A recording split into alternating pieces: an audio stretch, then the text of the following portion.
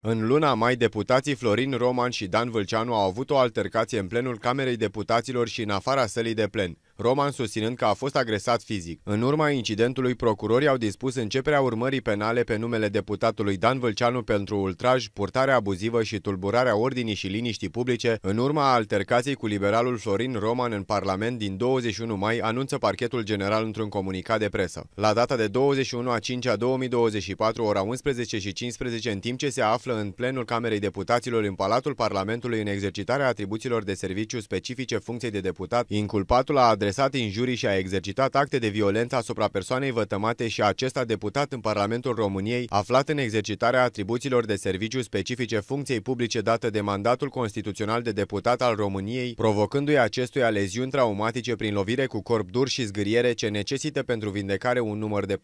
zile de îngrijiri medicale, precizează parchetul general. Procurorii mai subliniază că Dan Vâlceanu a adresat expresii jignitoare la adresa persoanei vătămate, aducând atingeri grave demnității acestuia și a tulburat ordinea și liniștea publică prin generarea unor situații de insecuritate și de teamă. El subliniază că deputatul nu se poate bucura în acest caz de imunitatea parlamentară întrucât este limitată la opinii politice, respectiv pentru voturile sau pentru opiniile politice exprimate în exercitarea mandatului, cu privire la care deputații și senatorii nu pot fi trași la răspundere juridică. Prin urmare, procurorii parchetului general au anunțat că au început urmărirea penală pe numele deputatului Dan Vâlceanu.